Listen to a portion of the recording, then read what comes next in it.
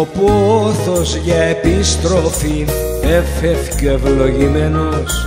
Βρίσκεται πάντα μέσα μου κι είμαι παλαβωμένος.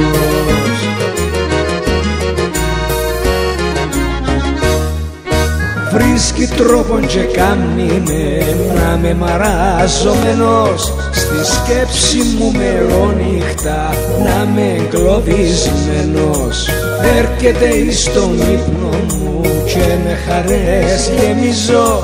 Λαλή μου στην πεντάγια μου τάχατες πως γυρίζω.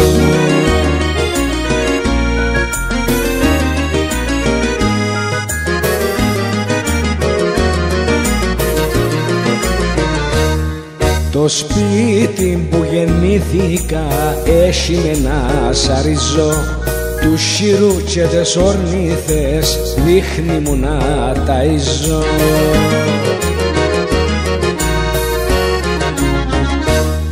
Περβόλια και χωράφια μας έχει να σκαλιζώ με του καρκώτη το νερό πως τα να ποτιζώ Κάστες καλύβες φέρνινε πατήσες να τελαλίζω Πάμιες τομάτες και λούθκια στους φίλους να χαρίζω.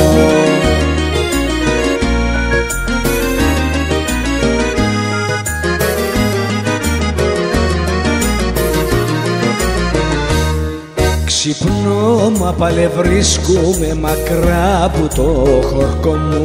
Τα μάτια μου βουρκώνουσι που το παράπονο μου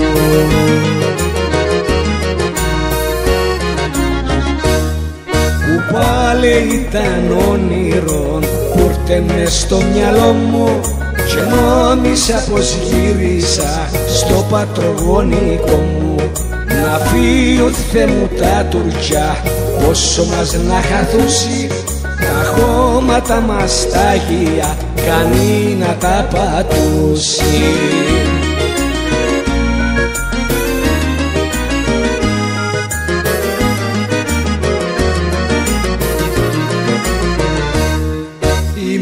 μέρα της επιστροφής Να'ρθει ευλογημένη έσω μας να γυρίσουμε όλοι εκτοπισμένοι. Να φύγουν μου τα τουρκιά όσο μας να χαθούσει τα χώματα μας τα αγία κανεί να τα πατούσει